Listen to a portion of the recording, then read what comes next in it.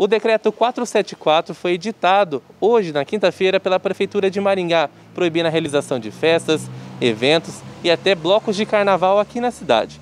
Da meia-noite de amanhã, sexta-feira, até o dia 17, ao meio-dia, na quarta-feira de cinzas.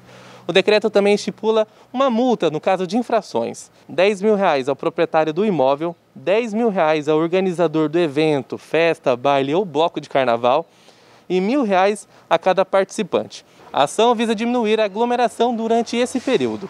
Restaurantes, bares e lanchonetes continuam seguindo o decreto anterior normalmente.